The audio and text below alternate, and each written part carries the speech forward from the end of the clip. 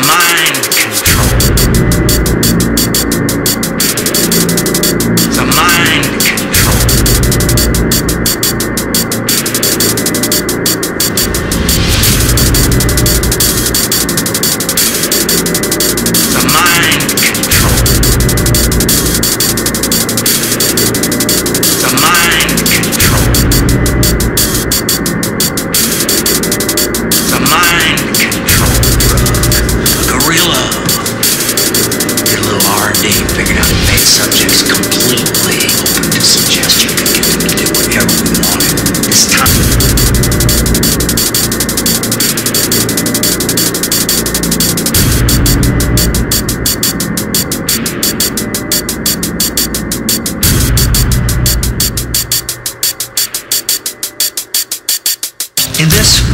there are two kinds of people fools and visionaries.